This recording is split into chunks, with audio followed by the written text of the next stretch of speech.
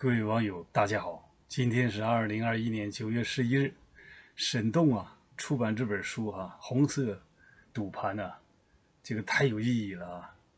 我就想将来如果是中共能够垮掉啊、垮台，到了那时候啊，或许有机会人们会看到这个段维宏受审这四年的卷宗啊，那里的故事可以这样讲，几天几夜讲不完，那很有意思哈、这个今天看到这个美国之音详细的报道，这个沈栋这书中哈、透露一些细节，这里边是仅仅讲了几个故事，其中还讲到这个段维宏怎么认识张贝利的哈、你想段维宏他这个根据他这篇文章讲啊，他这个家里出身这个贫寒呐、啊，说以前呢他的他是山东省一个老百姓的家庭出身，草根的，他母亲都没有工作哈、继父是当地水务部门的一个小官员啊，你想他没讲他的这个妈妈是谁啊？这里详细的不知道沈栋这本书里有没有啊？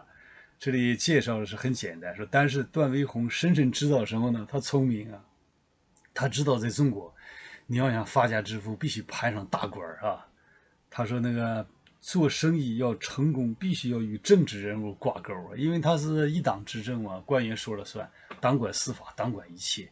为什么习近平能够忽悠这么多的官员进入体制啊？就是人的弱点，人性的弱点嘛。你来了以后是当党的干部，还是这个企业的一把手，或者是官员岗位的一把手啊，都是这样。你看局长往往都是党组书记，对不对？因为权力都到你身上，你可能能捞钱，于是人人都趋之若鹜，是吧？都想去当官，就忘了以后有风险呢。他就利用人的这个人性的特特点，所以习近平习近平不变革制度，反倒进一步集权，因为只有集权，他才能有人愿意跟他干，是吧？上来都想捞权，打击政敌呀、也恰恰因为集权了，很容易被抓住把柄了。这是个双刃剑啊！这里展示的非常清晰。他说，段维宏怎么认识温家宝的老婆？他说，二零零一年处心积虑要结识重要政治人物的段维宏，在一个场合当中，他可能企业经常有一些呃活动，偶然哈，先认识了张贝利了。呃，就攀上去了。段维宏是充分展示自己的能力啊，他展示能力是什么？他这个古典文学的功力很深，喜欢读唐唐诗、宋词、元曲，是吧？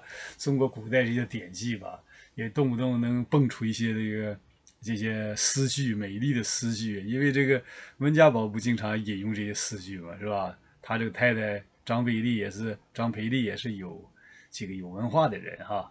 说给这个张培丽留下了深刻印象。后来呢，段这个段维宏啊，使用啊欲擒故纵的手段，成功的得到了张培丽的信任。但他没有讲这个什么意思啊，什么故事，就是欲擒故故纵啊，明明想结交，他假装不在乎他，就这个意思啊。说根据沈栋的描述，结识张贝利后。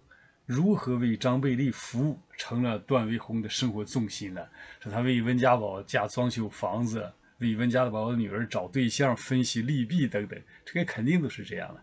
你看上个世纪，我见过好多，呃，东北三省的啊这些官员，有的官员也不低了啊，都厅级干部了，就甚至副省级了，我也见了好多啊。有的时候他们和你熟了以后也，也也企也给你介绍一下，就企业家、企业老板哈、啊，聊聊天什么的。那么你就可以看出他们关系非同一般的。那你他们一举一动就是琐碎的事都是企业家给给办，大老板给办，跑前跑后的，都是这个通病。这是制度造成的，不是说个仅仅是个人品哈。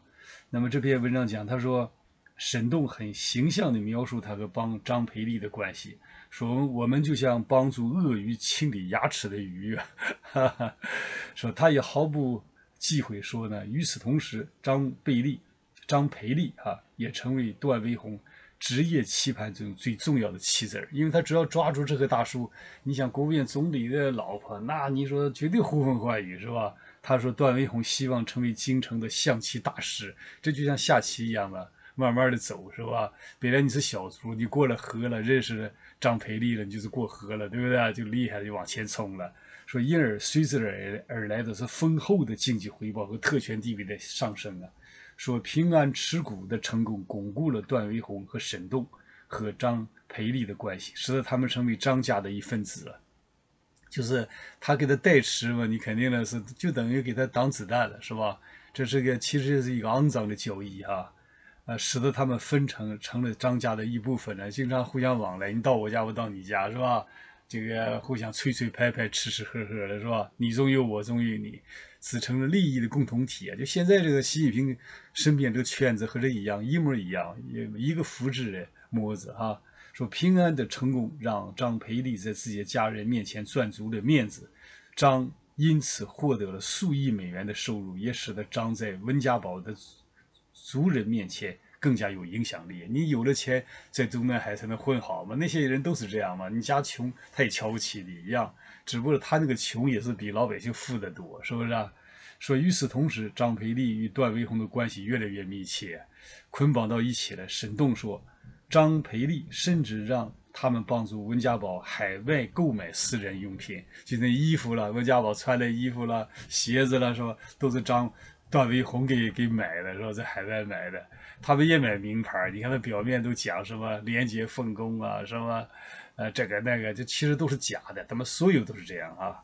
呃，只是我认为他们就是仅仅如果说穿点衣服好一点，吃点好好的，喝点茶，这也无可厚非，是吧？这个只要不过分，也不是大的问题。你关键是你给老百姓办点事儿。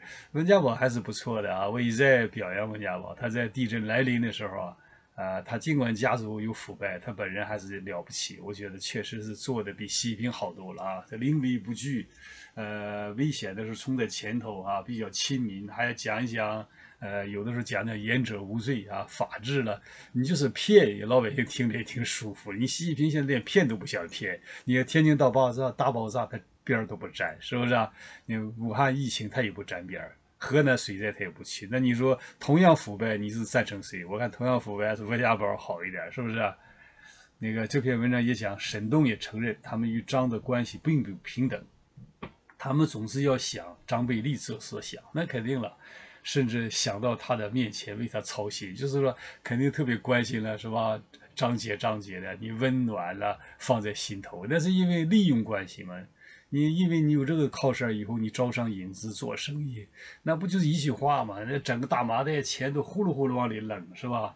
说段维宏后来被称为了这个温家宝的白手套啊，但是沈栋认为，他们与张裴丽的关系不仅仅是白手套，被用来帮助温家隐藏商业活动，他们与张家更是伙伴关系，他们为张家提供资金，确立投资方向、决策，甚至执行计划。而张培丽给予他们政治保护啊，说按照他们自己的说法，他们是陆军，张培丽是空军的，给他们空中支持。那你现在这个习近平重用这些官员，你像这个菜鸟啊，蔡奇，什么栗战书，你说陈明尔哪个不是这样？都是这样，这是政治体制决定的，谁上去都是这样啊，就是你只要上去了。身边就会来有大批的企业老板奉承你，然后就揣摩你的心思，需要什么？需要装修，马上给你装修；需要这个小孩上学，马上给你安排；需要出国，马上给你出国，给你购买东西，通通都是这样，大同小异。那你这个事儿就不能仅仅是就是解决个人的问题了。为什么我不主张抓太多的人？他都腐败，你抓他干嘛？关键是呃进行政治体制改革。习近平走错一步棋啊，他应该上来。第一件事是给江泽民抓起来，然后其他的人就算了，就进行政治体制改革，那他就厉害了。可惜习近平他自己家族也是腐败分子，是吧？他没有这个精神品质，他哄着呃老江头抓下边越抓越多，抓完到最后和这个老江头也闹翻了，是吧？和温家宝什么胡锦涛都闹翻了，他这是体制问题啊。只有胡锦涛好像哈还。现在目前看没有腐败的问题，他也不敢腐败。你像他的儿子胡海峰，呃，我估计应该是比较干净的，否则早就《纽约时报》也报道了，是吧？那郭起来更恨他了，也可以提供猛料啊。你通过这个事儿，你可以看出，就是这些商人呐，呃，和这当官走得近是好事，也是坏事。好事就是赚钱容易。你看现在为什么很多的，包括华尔街大老板，包括黑石集团，都愿意到中国去做生意？那就是机会多，只要你敢冒风险，脑袋瓜了不怕掉了，呃，反正就是肯定能享受一段时间，但是风险也很大呀。这个这是一个这个呃双刃剑了啊，也是坏事也是好事。等到你政敌一旦发生变化了哈，就是靠靠山发生变化了，政敌来了倒下了，那么你就第一个抓就他了。所以把他抓四年不判呢，没什么奇怪的。我在大连开发区，我在大连看守所啊，就是这个姚家看守所。曾经见到一个就是押了八年没判的，呃，他是一个会计，就揭露了薄熙来家族的下边的腐败，叫薄熙来知道了，就压在姚家看守所里，在走廊里啊，一条腿都坏了，一条腿直蹦，拄个拐哈也不判。中共他各级官员都作恶，抓完人以后啊，往监狱一放，看守所一放，不当回事因为你想他党管一切，他在地方就是一个土皇上。管这个公安局，公安局管监管支队，支队管看守所。那看守所门一开，搞几个警察压一个人，那当根本不当回事儿啊。所以这个段威宏压了四年不判，一点不奇怪。呃，这时候段威宏这四年可能就开始反思了，天天想和这个。呃，张培丽的交往啊，和温家宝的交往，这么大的官都不能保证他的安全啊，说抓就抓，这说明什么？说明有更大的官啊，更大的官来整他了，对不对啊？这都换了一茬又一茬，等再过几年，如果共产党不倒的话，我相信习近平不可能永恒啊，肯定也得垮台，垮台有新的官员上来再整他家族，都是一个轮回。说为什么现在习近平急眼了，很干呢？过去不管你多对我多么支持，现在只要你不让我当。呃，继续当皇帝，当一把手，我就肯定整你。他也是必须走这条路，因为他没有一个权力和平交接的机制啊。你看他爸爸为什么被毛泽东抗争整？那就是也是一样。所以到了他这一代，他没出息吧？他不想改革哈。要我要是他的位置，我直接就政治体制改革，直接给共产党彻底就干趴下，然后民主法治多党制，绝对不会走这条路啊。这个是傻瓜呀，傻瓜的路是吧？但是这个没有办法。像段威宏和这个张培丽的关系是个典型的政商的肮脏的交易的关系哈。呃，只是他做的这个比较的隐秘啊，没有审动披露，谁能披露？但是我相信，就是他审讯这个段威宏，一共压了四年，这个卷宗可能是大卡车拉不完。这个卷宗肯定，呃，共产党在灭亡前会销毁啊，要不销毁，你想这个流露出来。得写多少本书啊？那才丑恶了，这事儿多着呢。这里是简单的讲啊，是购置商品给这个高官。呃，输送利益，这里边故事还还有很多很多故事，是不是啊？